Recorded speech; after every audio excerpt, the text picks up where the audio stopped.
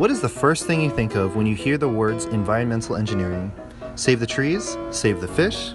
Recycling? Have you ever wondered what environmental engineers do? Environmental engineering is the study of the effect of human activities on the environment and the use of engineering principles to improve and maintain the environment.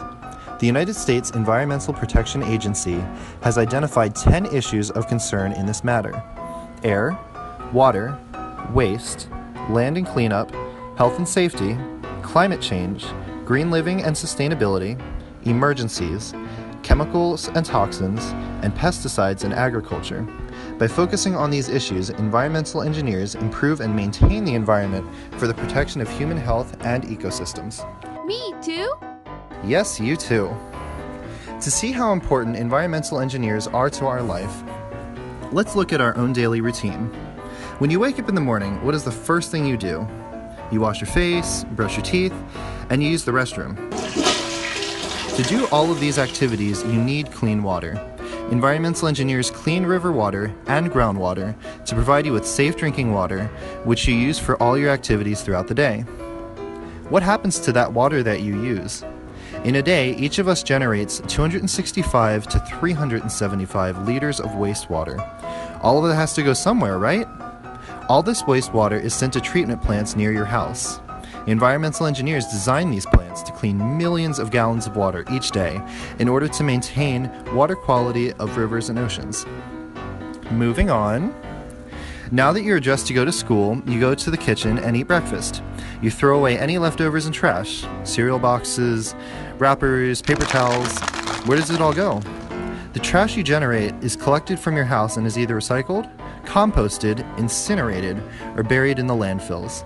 There are more than 3,000 landfills in the United States that are specially engineered to hold tons of solid and hazardous waste generated by people and industries so that toxic chemicals in the waste do not pollute the soil. Okay, let's go back to your morning routine one last time. You finish breakfast and you're ready for school. You get on the school bus.